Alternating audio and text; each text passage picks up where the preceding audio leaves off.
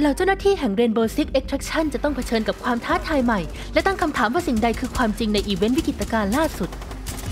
มอกแห่งฟันร้ายคือโหมดเล่นฟรีแบบจำกัดเวลา พร้อมให้เล่นตั้งแต่ 12 พฤษภาคมถึง 2 มิถุนายน ที่ซึ่งคุณและทีมจะต้องย่างเท้าเข้าสู่วังวนแห่งหมอกพิษสีม่วง เพื่อค้นหาและทำลายต้นไม้พิษ ซึ่งเป็นโครงสร้างปรสิตที่ก่อให้เกิดหมอกพิษขึ้นมาหมอกนี้จะทำให้เจ้าหน้าที่เกิดอาการประสาทหลอน และยิ่งคุณสัมผัสกับหมอกมากเท่าไหร่ระดับพิษในระบบประสาทของคุณก็จะยิ่งเพิ่มขึ้น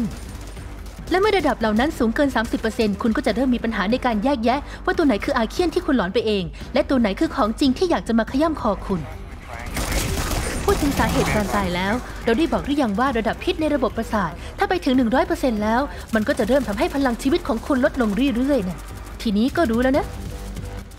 อีเวนต์วิกฤตการณ์ที่ 2 นี้จะนำเสนอเทคโนโลยี React ใหม่ด้วย นั่นคือ Rush Pistol ปืนยิงหลอดยาที่ใช้ยิงใส่เพื่อนหรือยิงตัวเองก็ได้ ซึ่งจะส่งผลให้เคลื่อนที่เร็วขึ้นและเป็นอมตะในเวลาชั่วครู่ คุณจะสามารถพกหลอดยาได้ครั้งละสองหลอด ใช้ให้ดีนะในอีเวนต์วิกฤตการณ์นี้คุณและทีมจะต้องคอยบริหารระดับพิษในระบบประสาท และทำเป้าหมาย 3 อย่างให้สำเร็จภายใน 3 โซนย่อย ที่ปกคลุมไปด้วยหมอกแห่งฝันร้าย แล้วเชื่อเถอะถ้าเราจะบอกว่าพูดน่ะง่าย แต่ทำน่ะยาก อย่างแรกก็คือเป้าหมายทั่วไปอย่าง Net Tracking ถ้าคุณโชคดี หรือไม่ก็ Triangulation ซึ่งจะทำให้ความยากสูงขึ้น ยิ่งคุณใช้เวลานานเท่าไหร่ในการค้นหาสถานี เพื่อหยุดยั้งการสั่นไหวทั้ง 3 ท่ามกลางหมอก ระดับพิษในระบบประสาทก็จะยิ่งเพิ่มขึ้น คุณควรจับตามองระดับพิษเอาไว้ด้วยนะ มันจะอยู่ข้างๆ หลอดพลังชีวิตที่ระดับ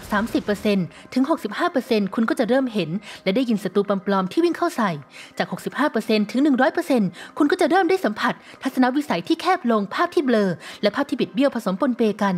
และเมื่อแตะ 100%แล้วขอบจอก็จะเริ่มเสื่อมสลาย รวมถึง HP ของคุณก็จะค่อยๆ ลดลงด้วย หากต้องการลดระดับพิษในระบบประสาท ก็ขอให้ลองกวาดตาหาห้องปลอดภัยในฉาก ซึ่งปราศจากหมอกและมีจุดวิเติมนิวโรสติมด้วย นิวโรสติม1หลอดจะลดระดับพิษไปได้ 35%อย่าลืมแบ่งปันให้กับทีมด้วยล่ะ เอาล่ะ กลับมางานที่ต้องทำต่อ นั่นคือกำจัดหมอกพิษนี้ให้ได้ เรายังมีอีก2เป้าหมาย เป้าหมายที่2ของคุณก็เป็นของเก่าแต่ก็ยังสนุก decontamination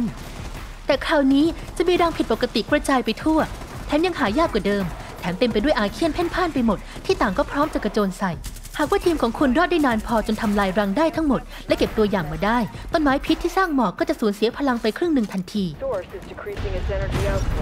คราวนี้ก็ได้เวลาทำลายต้นไม้พิษในโซนย่อยสามแล้ว ก่อนอื่น คุณต้องหาตำแหน่งของมัน แต่ว่าก่อนจะเริ่มโจมตีต้นไม้พิษแล้วก็ อย่าลืมแวะพื้นที่ปลอดภัย เพื่อตรวจระดับพิษในระบบประสาทของตนเองซะก่อน และก็คล้ายกับภารกิจช่วยเหลือเจ้าหน้าที่ MIA คุณจะต้องคอยยิงจุดยึดเกาะและ arc cell เพื่อทำการลดพลังของต้นไม้พิษ แต่ว่าคุณจะโดนโจมตีจากทุกทิศทางจากพวกอาเคียนในระหว่างนั้นด้วย คุณอาจต้องวางแนวป้องกันสักหน่อยก่อนเริ่ม แล้วก็ทำการเคลียร์สปอร์เพื่อให้เดินง่ายขึ้น ตัวล่อของ Alibi อาจมีประโยชน์ในการดึงความสนใจของศัตรู เมื่อคุณจัดการพวกจุดยึดเกาะได้แล้ว ก็กำจัดแกนกลางของต้นไม้พิษเพื่อทำลายมันซะ แล้วก็บอกลาหมอกแห่งฝันร้ายไป อีกอย่างเรามีระบบ level prestige ใหม่ด้วย ซึ่งบรรดาเจ้าหน้าที่จะสามารถ rank up ได้อีก 10 level prestige ตอนนี้ถือเป็นโอกาสอันดีที่จะกลับมาเล่น เกม action co-op เชิงกลยุทธ์อย่าง Rainbow Six Extraction แล้วนะ คอยติดตามช่องนี้ไว้เพื่อรับข่าวสาร เกี่ยวกับอีเวนต์ใหม่และเจ้าหน้าที่ที่จะเพิ่มมาในเกม และสำหรับข่าวสารล่าสุดติดตามเราได้ที่ new.ubisoft.com